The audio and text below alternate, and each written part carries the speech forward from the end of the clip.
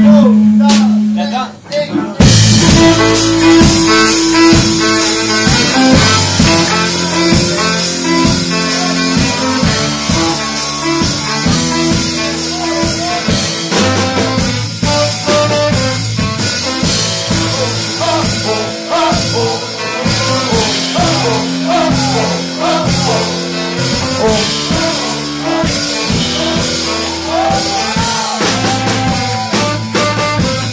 Marchaban el balón en los pies. Everybody.